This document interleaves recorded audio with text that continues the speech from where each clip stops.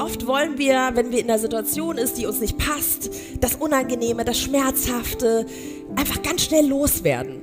Aber der Trick an der Geschichte ist, dass wir eigentlich nur das Vergangene loswerden müssen und die Herausforderungen, die uns das Leben schenkt, einfach annehmen und Schritt für Schritt ans Ziel gehen. Und oftmals ist einfach jeder Schritt zum Ziel viel, viel wichtiger als das Ziel selbst, weil wir eben genau an diesen Schritten wachsen können.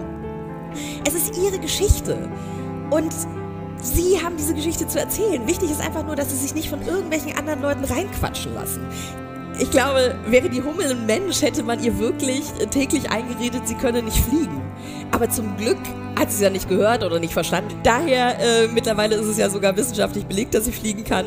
Und äh, ich mache es einfach genauso. Denn, ja, da ist es jetzt.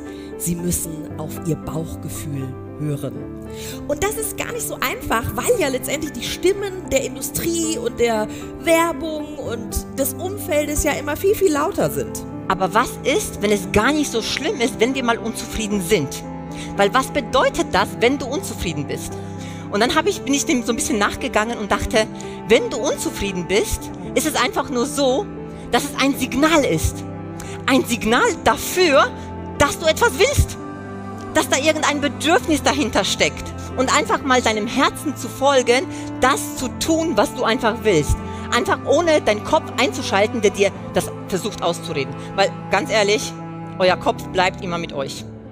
Es ist die schlechte Nachricht.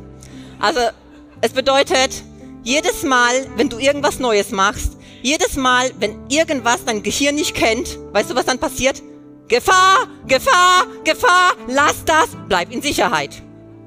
Und je weiter du gehst, je mehr Schritte du machst, desto schneller wirst du auch erkennen, cool, mir passiert nichts, ich lebe immer noch. Wie geil ist das denn?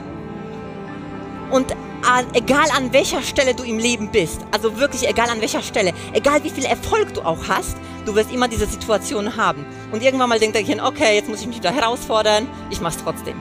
Ich mach's trotzdem, auch wenn es sich gerade scheiße anfühlt. Du bist wundervoll, so wie du bist. Und du brauchst gar nichts zu tun, du brauchst gar nichts zu leisten. Du bist einfach toll, so wie du bist. Werde zu der Person, die das Ziel, die das, was du willst, schon erreicht hat. Das heißt, frag dich, was braucht's an Gedanken? Was braucht's an Gefühlen? Was braucht's an Handlungen, damit ich das erreiche, was ich will?